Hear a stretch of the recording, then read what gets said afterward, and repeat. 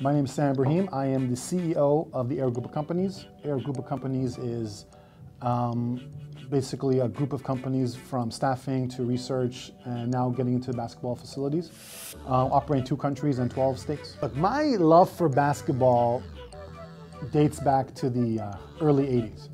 You know, we're talking a long time, a long time. And, and really, like, I mean, I am a Jordan, I am a product of Michael Jordan. You know, I wanted the shoes, I want to be on the Bulls. You know, everything about Michael Jordan. Like I love Michael Jordan so much. I even like gambling. You know, like I mean, I mean, it was, it was, it was a love affair from day one. But you know what? I mean, it's a basketball is a part of my life. It's a part of my children's life. It's a part of my friends. It's where I find the most peace, and you know, I love the sport. The hardest kid in the city, guy. All of ours. Playground was something I always wanted to do. So there are some facilities in in Toronto, um, but there are no basketball only uh, facilities. So you know what I always thought, especially again growing up in Toronto, growing up in Scarborough, um, east side of Toronto, there was never a place to play basketball. There was never really a place where you could go there and not have to compete with volleyball and badminton and other sports. And the idea behind the playground is, you know what, a basketball only complex for people who really love basketball and a place where you come in and there's pride. Like you walk in and you think it's beautiful. Design here is to be the best of the best. Whatever we could do, but even the hardware, you know, the hardware that was chosen was the best hardware. Even the mural, the padding, everything was as good as we could find. Like the practice courts are going to be a lot more interactive. You're going to have a dish, Dr. Dish keeping stats. You're going to have a dribble machine that um, works on your handles.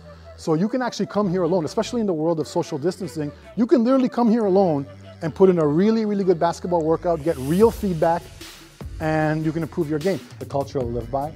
And really the, the vision for the playground is to be a stable in our community where people are playing basketball, having fun, um, recreational, um, recreational facility, as well as the culture to be really a place that's inclusive, an environment that, you know what, people are comfortable, communication's open, and just a place to hang out, just a really just a fun place to hang out, all walks of life.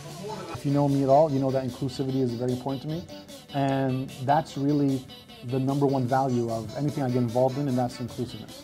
I have tried for the longest time to to have a facility like this. You know what? And there's been so many barriers, whether it be zoning, whether it be just not the right people, not the right partners. Um, but honestly, since for about the last five years, I've been actively pursuing trying to find a gym, a basketball wing facility, and and this actually just fell in my lap. It was actually quite we were quite lucky.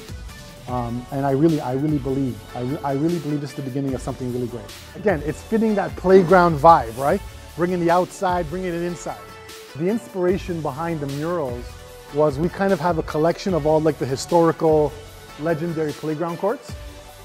And the idea was, you know what, kind of like honor these legendary playgrounds and bring them all here. And that's why we call the place the playground, right? This is the playground. This is the best, eh? Like, look how wicked this looks, man.